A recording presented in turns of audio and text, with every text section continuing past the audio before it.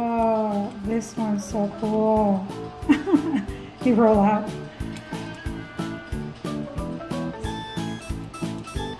This caterpillar is growing so much, I think it's gonna be ready to become to be in this chrysalis and become a butterfly soon after.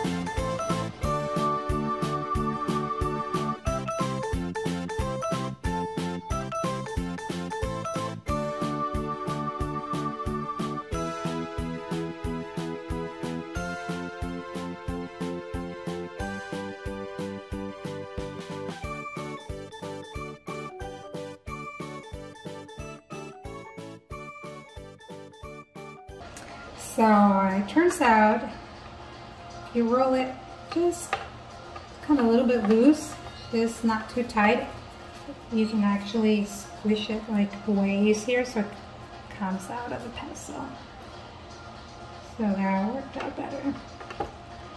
Okay, so this is my one of each, right? One of regular markers, one with watercolor markers, one using a brush with watercolor and one with highlights. And let's test out and see. They might all look very similar. But let's see. Squeeze squeeze squeeze some water. Let's see. Zoom in a little bit. Maybe we have to be patient huh? Maybe we just need to squeeze a little bit and just wait. I was thinking I'm gonna squeeze a lot more water, but I'm just gonna wait and see. And I'm gonna use my leaf here for, actually I should have each one of this in a leaf so we can see the proportion. I grab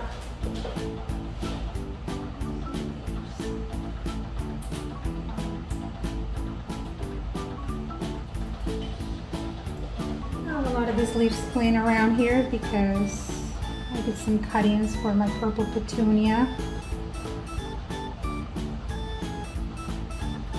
And I'll have each one in a leaf. So I guess if you can gather four leaves, that would be very helpful. Let's see our caterpillars growing.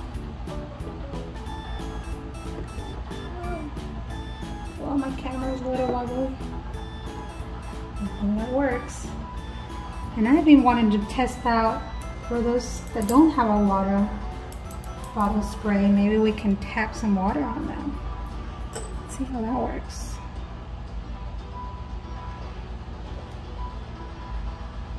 Hmm, not enough water. I probably needed a really, like a bigger brush.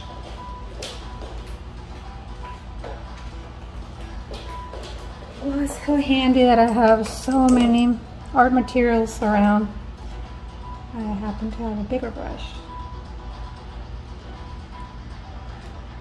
But I wonder if I should just wait then. Maybe there is enough water. Am I being impatient? Or should I put more water? This guy I think needs more water because I don't see him moving. So I'm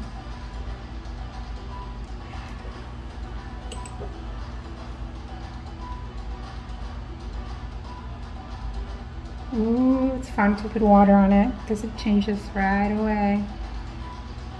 Ooh, look at that one. But in real life, caterpillars take many, many days to grow. So we're just speeding up the process with more water here. So I think a eyedropper will be fantastic if you have an eyedropper.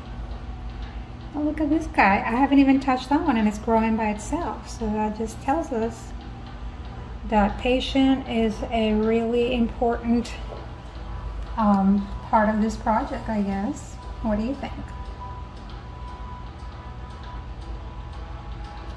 And here's the one that I sprayed earlier. And look how big it's growing. So it continues to grow. And I put all these different colors, but I I've only seen green caterpillars with a little bit of yellow. What color of caterpillars have you seen? That'll be interesting to know. All right, I'm gonna pause this and then we'll film again once they grow a little bit. So we're back. What did you do while you waited? I did some stretching. I did some little bit of dancing. And I think I feel better because I was being a little too impatient before. And they all look great. I think what this tells me is that it doesn't matter if you use any of these uh, materials, they're all going to work out fine. I think the watercolor one, the markers, may be better because there's more color there. But I want to do something fun. I'm going to put a lot of water. I think some kids will be tempted to do this too. It might be silly. This is just going to be too much water. I don't know, maybe, but it'll be fun to test it out. I can't help myself. I'm going to put a lot of water on them because I want to see how big can they grow. Oh my goodness. Are you guys seeing that? I think we can skip the whole brush with the water because that was too little water. I think we either pour some water in a little cap here, water cap. Oh, you spray it. So should I put all this water? Should I put it? What do you guys think? Let's see. Well, I think that one grew as much as it was gonna grow. There you have the, the caterpillars. Do you like this activity? Do you like watching it? Do you like making them? Hope you enjoy this craft.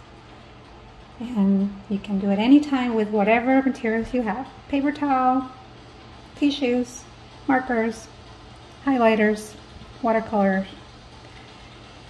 Have fun. Bye.